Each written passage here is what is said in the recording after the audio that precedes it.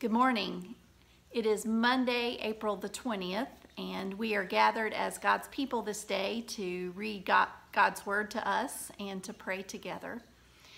This is a season following Easter when uh, we celebrate the good news of the resurrection. And what that looks like is new life in Christ. And so this season, as a church, we'll be exploring the fruits of the Spirit which are found in Galatians 5, Paul's letter to the church at Galatia. Let me give you a little context as this week we focus on peace. This is a, a passage really about freedom in Christ. And these days we're hearing a lot about freedoms the freedom to leave our home, the freedoms that feel limited to some of us, um, but that freedom is so that we might love one another, according to Paul. He writes this The only thing that counts is faith expressing itself through love. Faith expressing itself through love. That's what true freedom looks like. Now, they were arguing in the church in Galatia over circumcision. So the Jewish believers who came to follow Christ were arguing that these new Christians who were Gentiles needed to be circumcised to be truly faithful. And Paul is explaining, no, you are now in Christ, and the law no longer um, has sway over you as much as the Spirit. And so he describes what uh, life in the Spirit looks like and what life without the Spirit looks like. Some of the fruits of life in sin look like idolatry, um, selfish ambition, factions, and envy.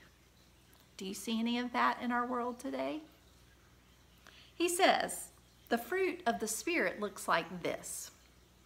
The fruit of the Spirit is love, joy, peace, patience, kindness, goodness, faithfulness, gentleness, and self-control.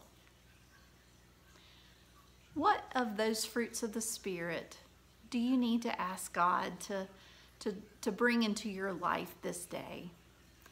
Listen again to that list. Love, joy, peace, patience, kindness, goodness, faithfulness, gentleness, and self-control. Now this week we'll be exploring peace, the gift of peace.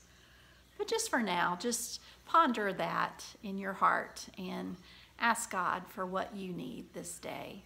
That our lives may be a display of that Easter resurrection joy, peace, patience, love, gentleness, kindness, faithfulness um, to others and to the world.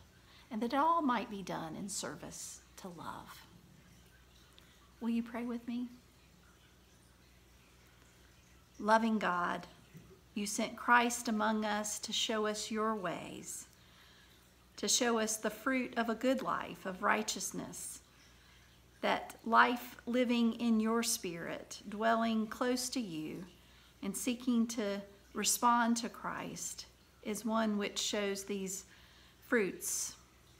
We ask for the for you to forgive us of the things that keep us from displaying those fruits in the world those things that hold us back, those um, marks of sin.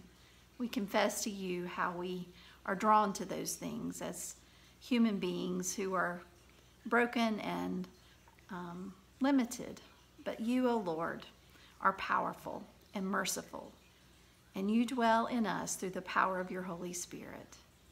So make us today a vessel, a vessel of your peace to all those we meet and encounter. Dwell in us as we dwell in you. For Christ's sake, amen. See you again tomorrow.